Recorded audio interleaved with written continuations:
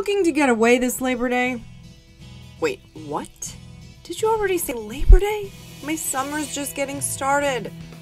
Well, USA Today has some inexpensive travel ideas for you. What about Chicago?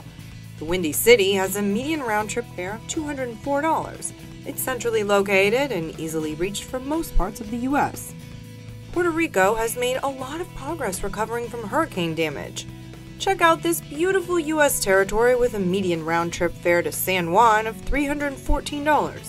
If getting away is not in the cards, what about some at home projects? U.S. News and World Report suggests that Labor Day weekend is a great time to catch up on home improvement projects. You could also host a potluck barbecue where you and your friends share the work and the fun. State and national parks are also great places to check out on the holiday weekend. Make your plans quick! I heard Aunt Mary wants to fly in from Florida.